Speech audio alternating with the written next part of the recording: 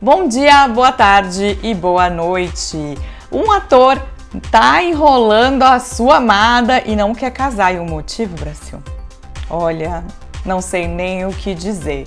Um popozão causou na Dramalândia e eu vou te contar tudo, porque quero saber aí sua opinião sobre as cenas e também temos um casalzão chegando com tudo na Dramalândia em 2024. Vem comigo que depois da vinheta, essas e outras notícias, eu vou te contar tudo aqui. Celebrity News.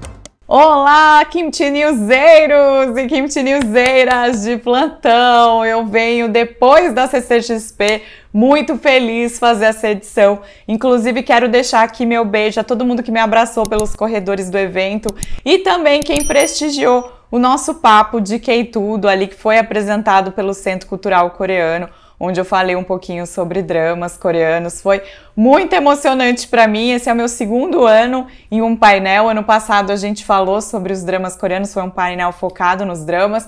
E esse ano a gente fez um K-Tudo, falamos sobre livros também, falamos sobre cinema, foi uma delícia. Quero agradecer ao Centro Cultural pelo convite, a Eric Menes aí pela curadoria e também agradecer a CCXP, o pessoal do Omelete e, claro, o pessoal do Palco Bentô, que, ai, parceria assim deliciosa, adoro vocês e todo mundo que também apoiou aí o meu painel lá, que me mandou mensagem, enfim, muito obrigada. Parênteses feito aí antes da gente começar, vai vir um vlog só sobre a CCXP, sobre a Netflix lá, né? Não tivemos, né? Não veio ninguém, porque eu achei que viesse Seo-joon, mas isso é papo para outro vídeo, tá, gente?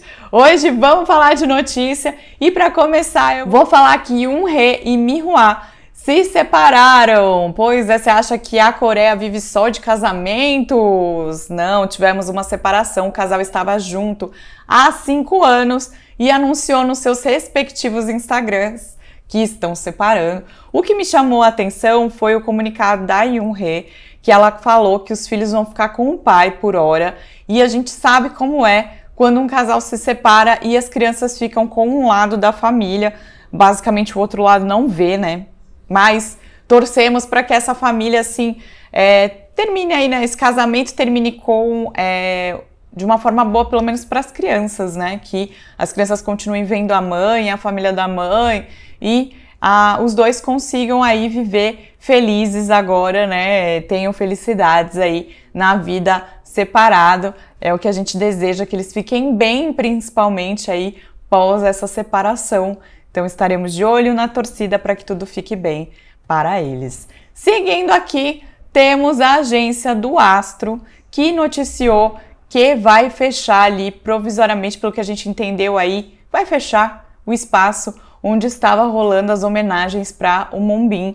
Então eles tinham o espaço num templo e aí recentemente eles levaram para um outro templo lá na Coreia e alguns fãs pediram para que fosse fechado, porque eles começaram a olhar que a Fantágio estava ali com uma relação com o templo, que talvez houvesse outros motivos para fazer essa troca. Então, por hora, eles fecharam o, o, a, a, parte de homenagens, esclareceram as questões com o templo na seguinte nota, abre aspas. Os executivos e funcionários da nossa agência foram ao templo Seonmunsan e prepararam cuidadosamente o espaço memorial à mão por vários dias com muito amor ao Mumbim. Por favor, não distorça ou instigue falso, falsas notícias ou, ou falsos sentimentos dos nossos executivos e funcionários da Fantágio em relação a Mumbim. Planejamos tomar medidas legais fortes contra as circulações de falsas notícias no futuro.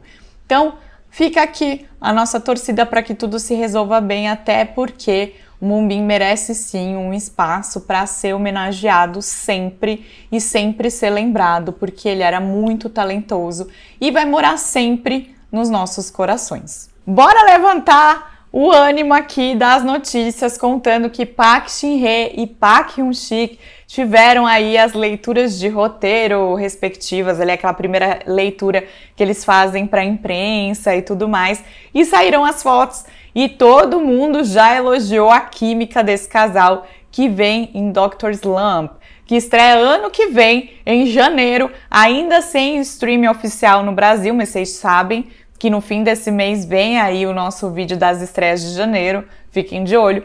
E até lá, eu pretendo já estar tá sabendo aí quem vai lançar, a Netflix poderia trazer, né? Mas olha que casalzão, Brasil. Park Hyun-sik e Park Hin-chie. É tanto Park, né? Meu Deus, maravilhosos. Casalzão, né? Atores aí já é, de tanto tempo da Dramalândia. Eu tô curiosa com esse drama. E Dr. Slump é uma comédia romântica da mesma roteirista de Secretária Kim, né? O que houve com a Secretária Kim, que eu amo tanto, então já tô curiosa para ver o que será deste drama. Mas como eu falei, janeiro aí de 2024. Hong Seo-ya e Jang Sung-kyun vão ser aí os respectivos apresentadores da KBS Drama Awards, premiação que vem com tudo no dia 31 de dezembro. Eu já quero ver esses três belíssimos em traje de gala, né? Numa noite de premiação que vai dar o que falar com certeza. E falando em premiação, fica de olho aqui no canal porque vem aí nos próximos dias a votação. Eu vocês já vão estar tá votando porque vem até sexta-feira dessa semana a votação do Prêmio Afrodite de Peixes melhores doramas do ano. Meu Deus, que nome grande! Para vocês votarem nos seus dramas favoritos. Lembrando que os membros do canal têm categorias especiais de votação. Então, tem uma, uma quantidade de categorias para o público geral e algumas só para os membros do canal. Então já aproveita e vira membro para você votar em todas, tá? De Volta às Raízes teve uma ótima estreia, uma ótima mesmo, tá, gente? Uma ótima estreia para ler as suas classificações de audiência. E também tivemos aí Perfect Marriage Revenge terminando com também a sua maior audiência até o momento. Inclusive, você já terminou esse drama? Me conta nos comentários o que você achou, porque eu sei que tem muita gente amando.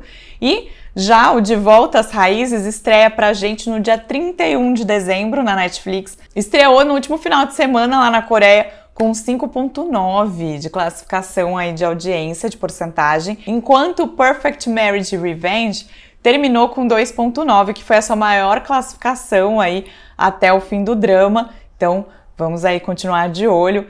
E Castaway Diva aí também, que teve o seu final no fim de semana lá na Coreia, teve 8.1, tendo a sua maior classificação até então. Então temos aí uma audiência boa, fresquinha aí para você até decidir quais são os dramas que você vai acompanhar, se você vai assistir os dois que terminaram ou vai começar, mas também, né, De Volta às Raízes tem um elenco incrível, incrível. Eu tô, eu vou acompanhar pela Netflix, então tô aqui esperando doida para ver dia 31 de dezembro essa obra-prima chegar. Eu acredito que está demorando um pouco mais por contas contratuais aí é, da TVN com a Netflix, tá?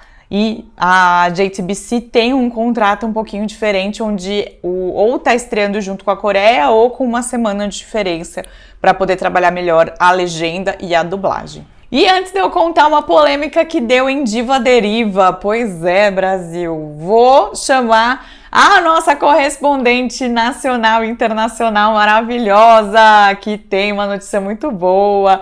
E eu, tá, eu fui, eu tava nesse dia, Carols. Manda aí pra gente. E aí, pessoal, eu tô aqui direto do VIP Station, onde acabou de rolar o fan meeting do First Call. E eu tô, tipo, super chique, né? Com o famoso microfoninho rosa. E, cara, foi incrível, assim. Os meninos estavam super felizes. A galera entregou, fez um vídeo super fofo, super emocionante. E, assim, foi sensacional. Se vocês tiverem oportunidade, vem. Inclusive, eles falaram pra gente se comportar, comer direitinho, se manter saudável para encontrar. Quer ver? Foi ou não foi legal, pessoal? Então, o, se você perdeu, se programa para vir na próxima, porque foi incrível. Os meninos brilharam, se entregaram nas brincadeiras, cantaram pra caramba. Inclusive, Kaltung meteu um bright lá pra gente cantar junto com ele. Então, foi incrível e, sei lá, sem palavras pra, por ter conhecido os meninos pessoalmente. Que seja o primeiro de muitos. Agora é com você de volta, Carol. Ai, gente, foi uma delícia esse fan meeting do First Call aí, foi incrível, foi incrível encontrar algumas pessoas por lá também, um beijo quem me encontrou ali no final, porque eu cheguei um tiquinho atrasada, porque eu tava no último dia da CXP, no dia do painel, mas foi uma delícia e óbvio, né, é sempre muito maravilhoso estar presencialmente com a Carol, vocês viram as nossas fotos aí, Mas vamos de polêmica, vamos de polêmica, porque lá na Coreia deu um bafão nas gravações de Castaway Diva, ou como a gente conhece aqui em Diva Deriva, por causa daquela cena onde tinha o SOS ali, onde ela estava com um pedido de socorro na ilha, e aquele pedido de socorro era feito com lixo. E a ilha é uma ilha lá em Jeju, então os telespectadores coreanos reclamaram bastante a falta de sensibilidade ali da TVN em fazer uma cena com lixo em uma ilha de Jeju, né? Então, assim, houve essa polêmica e no dia 4 de dezembro a Park Hyun-bin participou de uma entrevista e deu aí o seu parecer disso, abre aspas. É uma vergonha. Existem fatos que vão além. Existem situações que o público desconhece, mas não há nada que possamos fazer quanto a isso. Existem situações que podem parecer injustas dependendo da perspectiva de cada um. Ninguém queria criar polêmica. Todos se esforçaram ao máximo para que as coisas esperadas dificultassem é, e as pessoas percebessem de formas diferentes. Já a equipe de produção de Diva Deriva falou, pediu desculpas aí, falou que não quis causar nenhum problema no local e já falou que vai reparar qualquer tipo de problema que tenha deixado ali na ilha, caso tenha deixado, que eles vão ficar de olho, enfim, então essa foi a polêmica, né? Se for gravar assim, gente, é só recolher o lixo depois, né? Se, esperamos que tenha sido pedido autorização também para que isso tenha rolado, enfim. Estamos de olho, TVN. Deixa limpinho depois, tá? Grava, mas deixa limpinho depois. Antes da gente ir para a bomba da edição, tem um ator popular lá na Coreia que tá enrolando a namorada, viu, gente? O ator Jang-woo, ele contou recentemente aí em uma entrevista no dia 4 de dezembro que ele faz parte de um programa que chama I Live Alone. E ele já tá nessa equipe desse programa há 10 anos. Aí você viu o nome do programa, né? Chama Eu Vivo Sozinho.